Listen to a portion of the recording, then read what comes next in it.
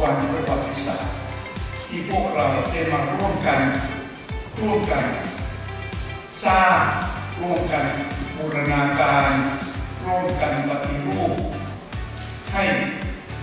ต่อยอด หลอมรวมรื่นไหลทลายแนวคิดทลายค่านิยมเดิมให้หมดไป สร้างสิ่งที่ดีงาม ขึ้น เพื่อสร้างความสงบสันติสุขก้าวหน้าให้กับ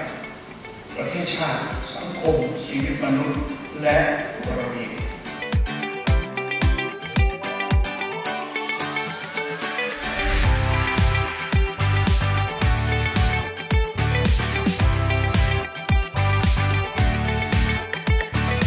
ขอขอบคุณทางมหาวิทยาลัยรังสิตนะครับ ที่ได้เรียนเชิญให้มหาวิทยาลัยทางเทคโนโลยีสาร มาลงนามความร่วมมือประกอบสำหรับการสร้างความร่วมมือระหว่างมหาวิทยาลัยด้วยกัน ก็คิดว่าในการสร้างความร่วมมือในวันนี้เนี่ยจะเป็นประโยชน์อย่างใหญ่หลวงกับประเทศชาติ ในด้านการผลิตบุคลากรในด้านอุตสาหกรรมการบินกับระบบราง ซึ่งเราคิดว่าตัวสองเรื่องนี้จะเป็นโครงการของประเทศชาติที่เป็นโครงการใหญ่และคิดว่าจะเป็นโครงการที่สามารถผลักดันให้ประเทศชาติ ไปสู่การเป็นเป็นประเทศที่พัฒนาแล้วต่อไป